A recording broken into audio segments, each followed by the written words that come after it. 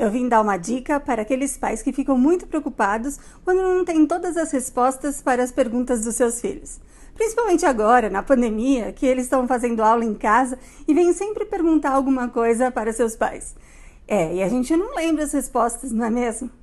E aí, o pai deixa de ser um herói quando ele não tem uma resposta? Tudo bem o pai dizer: Eu não sei. Porque nem os super-heróis sabem tudo. Ninguém sabe tudo. Tudo bem o pai falar: Ixi, eu não sei essa resposta. Mas não está tudo bem ele falar assim: Eu não sei essa resposta. E se vira. Mas ele continua sendo herói quando ele diz: e eu não sei essa resposta não, mas vamos procurar. Qual que é a resposta? Ou do que, você precisa para descobrir essa resposta? Onde será que está essa resposta? Ou hum, vamos procurar junto?